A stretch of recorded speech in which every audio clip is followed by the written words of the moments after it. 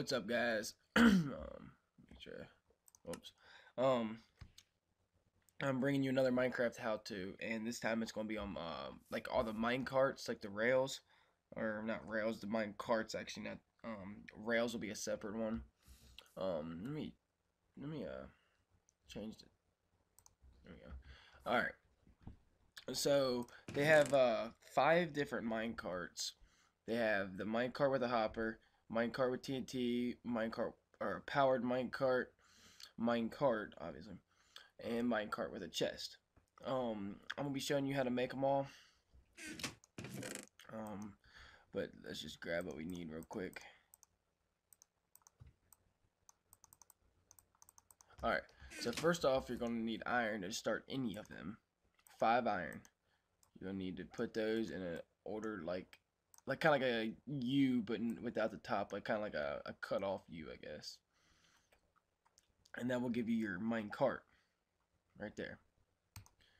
So um, once you have your mine cart, I'm not going to make like separate mine carts for all of them. Um, just like just say you already made your mine cart, so there's that. So now you grab another mine cart and you put a TNT above it. That's simple. Mine cart with TNT. Um, you do the same thing with the minecart with a hopper, like the yeah. Just put on my hopper on top. And there it is. And I will probably be doing a video on like how all of them work and whatnot.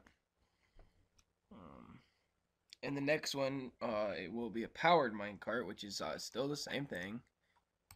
Put a furnace on top of it powered minecart. They are all very, very simple.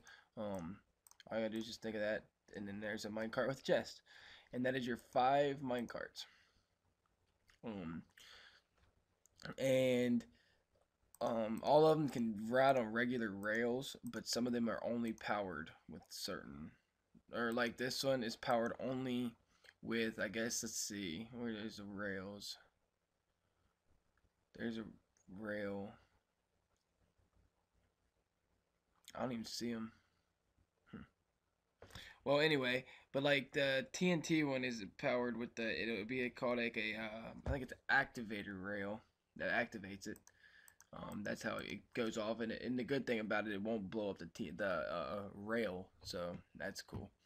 But anyway, I hope you guys enjoyed this one, and stay tuned for. I guess I'm probably going to be doing the rails, possibly next uh, video. So I hope you guys enjoyed, and thanks for watching.